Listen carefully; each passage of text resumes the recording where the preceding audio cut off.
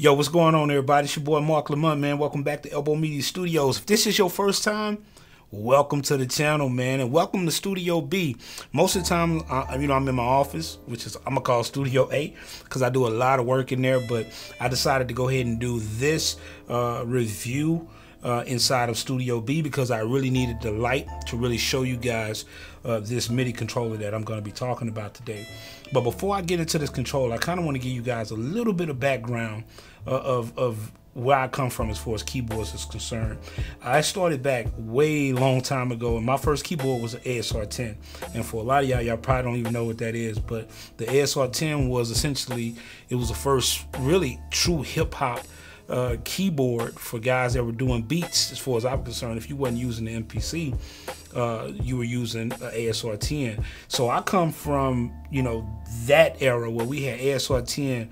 I had the uh, TS12. I had a lot of keyboards in my studio, which was crazy because um, you needed a lot of keyboards because you know sometimes there were certain sounds like you had a Korg or you had a Roland or whatever you had sometimes those keyboards were sound specific, so you had to have that keyboard in there in order for you to be able to, you know, get those samples or those sounds. Unless you know, kind of with the ASR 10, you could kind of, uh, you know, steal some samples, I guess, or create your own. But anyway, I come from that era of uh, of beat making, and to be honest with you, man, the MIDI controller saved all of us. You know what I'm saying? Like, let me just keep it real. Essentially, what a MIDI controller is, it is a device that can essentially can control something else, like a laptop or any type of device that is, you know, that can take data in and operate over MIDI. And it's just phenomenal. I love it. And now with MIDI keyboards getting even smaller and more compact, I decided I already have a MIDI keyboard and uh, I'll show you some pictures of it. Uh, it's an M Audio, and I love it. I love that. But since I've been doing music on the iPad, I decided that I wanted to get something a little bit smaller and I wanted to get a little bit more mobile. Now, there's a lot of MIDI keyboards out there. The first one I went with, which was the most popular, was the Akai um, small little mini uh, uh, MIDI controller. And to be honest with you, I did not like the keys. Uh, they just felt too um, too thin for me. They, they, I just couldn't get my fingers around it. I needed something a little bit longer. So I searched and searched. I ran across this one. Uh, this this MIDI keyboard is by uh, IKEA. I'm sorry, IKEA. That's probably why this desk this desk comes from.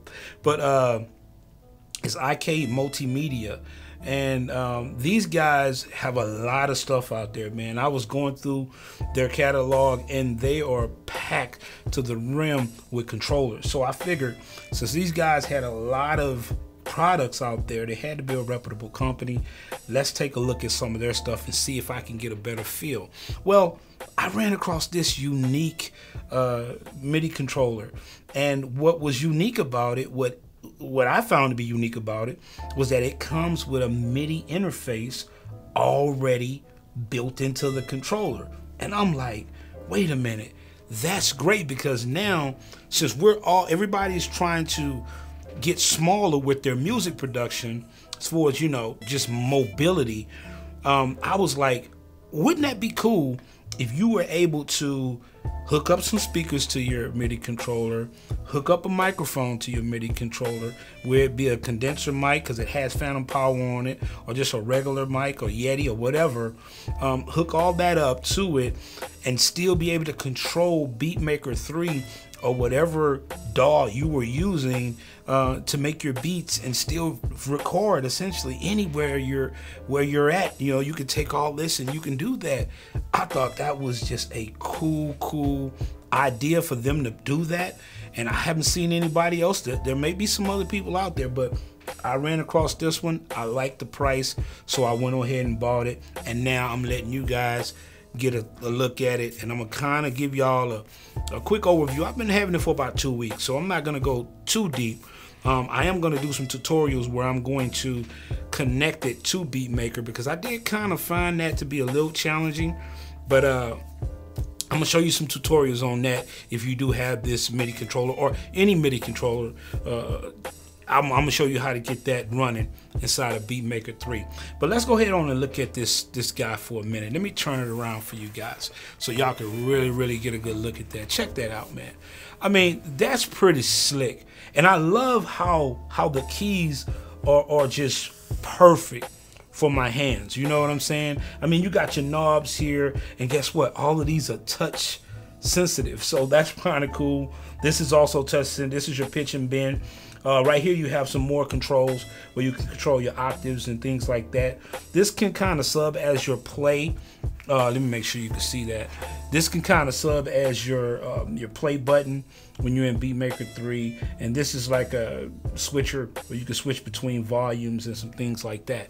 But this thing is, I ain't gonna lie, man, I, I like the way it looks. You know what I'm saying? That was one of the reasons why I actually got it because I, I said, man, yo, that joint look hot. Don't get me wrong now, the Akai stuff looks hot. It's colorful, it's cute.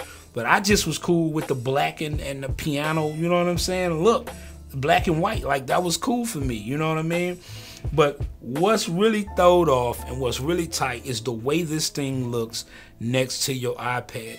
It actually comes with, which I thought was cool, they put a iPad stand in there, and this is perfect for, I guess, any type of iPad you got, but you know, I got the 12.9, so the weight is not a problem, it's perfect. Um, also, it comes with the wires to hook directly into your iPad, so you don't have to worry about that. And it does recognize your, you know, the, the MIDI controller as soon as you plug it in. You know what I'm saying? Like boom. Now I'm not gonna lie, the 25 keys was a little bit different for me. I've never really done anything smaller than 49, but once I started messing around with it, man, it kind of kind of made me a little bit more focused a little bit. Uh, I thought that was kind of cool. But uh, we're gonna go over some of the some of the options here in the back of the keyboard. Um, it starts out with a foot sustain. Then you have a button for your you have a button here for your um, for your phantom power. Um, you also have your input quarter inch uh, XLR. You have your gain where you can turn up your gain, and that's kind of for your volume. You have your left and right speakers, so you can have speakers hooked to this thing like we just talked about. You have your headphone jack. You have your device for your for your proprietary cord that comes with it. You can also hook DC power up to this guy, and then it also comes with batteries.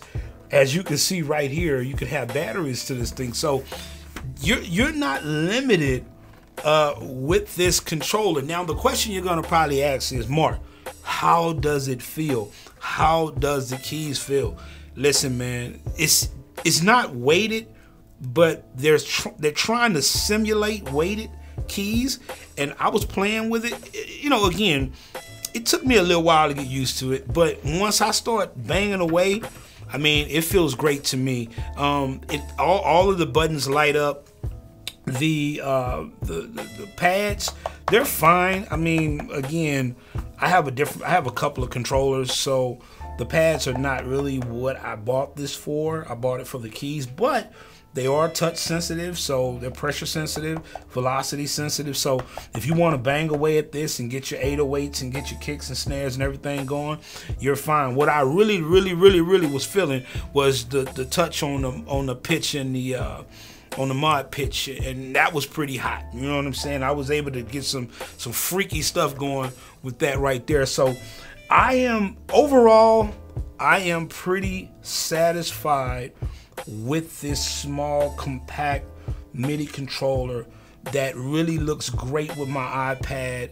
I mean, I could go through specs on this thing, but again, we're musicians. I mean, if you tell me that I got everything in one and I could hook this thing up, hook my iPad up to this thing, slam me some speakers in there, put me a microphone on there, and be able to control all that right from here, you already got me sold. Because the whole my whole point is I want to limit how many devices I take out with me when I'm on the road and when I'm dealing with other artists and I'm meeting guys and meeting people and I'm ready to get the work and I don't have to deal with all of this different equipment. I want everything to kind of be in one. And it sounds great. I've already hooked it up. I, I listened to it. It sounds perfect, man. Hey, those guys over at IK uh, Media did a great job with this MIDI controller. So that is my review on this thing. I'm not going to give it a number. I'm just going to tell you, I'm a musician. If you want to get you a small compact MIDI controller that has full length keys, right? That feels good in your hand. It'll still fit in your bag, even though it's it's got a little size on it. It'll still fit in your bag with your iPad, and you come with a stand and everything else. This is the one to get, man. So hey, I'm your boy, man, Mark Lamont, aka Marcus Elbow. I've been, yeah, I appreciate everybody coming by and checking out the channel, man. Y'all already know how a number love, baby. You know what I mean? Uh, I want y'all, I want to wish y'all a happy holidays, man. You know what I'm saying? Don't eat too much barbecue. You know what I mean? Watch that cholesterol for my older cats. You know what I mean? And uh, I will see y'all in the next video. All right? All right, man. One. Peace.